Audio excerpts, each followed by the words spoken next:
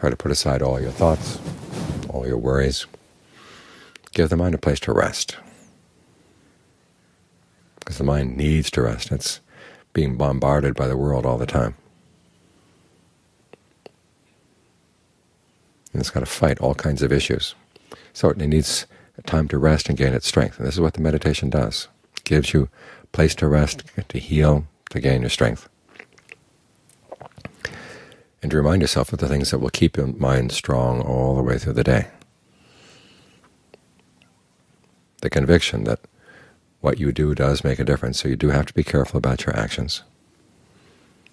And you also don't get upset when you do something good and the results are not good immediately. You have to realize that okay, it takes time sometimes for the results to come. So you just keep on doing good. That's persistence. That's the quality that you stick with. Stick with this again and again. You learn how to give yourself encouragement. You learn how to give yourself reminders of why this is a good path.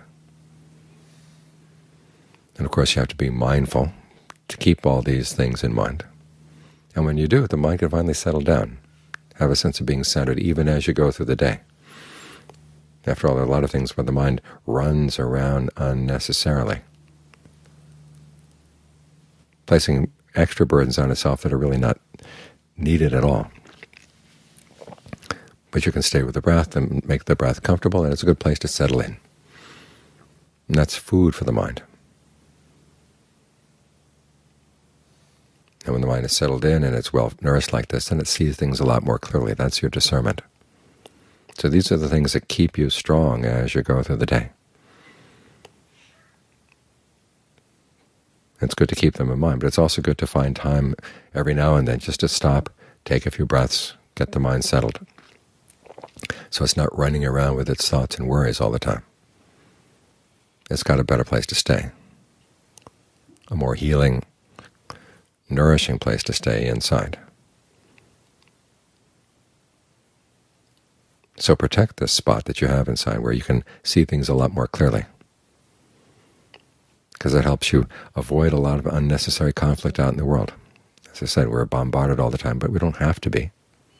We can let a lot of things go past. Pay attention only to things that are really worthy of attention, things that would lead to your well-being. things that will make a difference. And that way you save yourself a lot of wasted energy, and you can use that energy to something that's really useful. This is how you take care of the mind.